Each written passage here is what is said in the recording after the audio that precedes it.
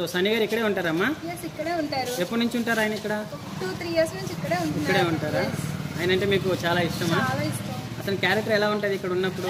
Character చాలా ఉండేవారు. So ఫ్యామిలీతో ఉంటారా అండి ఇక్కడ. ఫ్యామిలీతో ఉంటున్నారా. ఎవరెవరు ఉంటున్నారు? మమ్మీ డాడీ ఆ. సన్నీ సార్. అంతే. ఏ కార్ అండి అతనికి.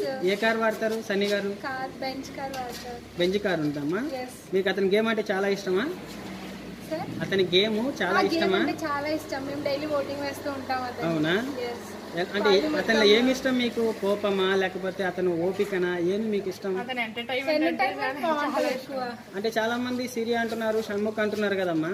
మీకు ఎలా అనిపిస్తుంది? షణ్ముఖ్ మన సన్నీ సార్. నచ్చుతారు ఎక్కువగా. రోజు చూస్తారా మీరు. ఎప్పుడైనా ఏడ్చారా? ఏడ్చారా మీకు ఎలా అనిపిస్తుందమ్మా సన్నీ గారు బాగా చేస్తారా? రోజు చూస్తారా? పిల్లలకి చాలా ఇష్టమా? కాజల్ వెళ్ళిపోయినప్పుడు అయితే సార్ చాలా బాధపడ్డారు. ఆహా. ఇట్లా ఉండిపోయారు అంతే సార్. మేము కూడా అలా చూస్తూ ఉండిపోయాము సార్ ఏడుస్తుంటే. ఆహా. ఇంకొకటి అన్న బిహేవియర్ మీకు అర్థమైంది కదా? ఇక్కడికి బిగ్ బాస్కి ఏమన్నా చేంజ్ కనిపించిందా మీకు? లైక్ అక్కడికి వెళ్ళిన తర్వాత యాక్టింగ్ కానీ same normal character okay real లైఫ్లో ఎలా ఉన్నారో బిగ్ బాస్ హౌస్లో కూడా అలాగే ఉన్నారు సార్ అసలు యాక్షన్ అన్నదే లేదు అసలు. సో ఇప్పుడు అందరూ షణ్ముఖ్ షణ్ముఖ్ అంటున్నారు. మీకేమో సన్నీ అంటున్నారు. సన్నీయే ఎందుకు గెలవాలి? మీకేం నచ్చింది ఆయనలో అంత?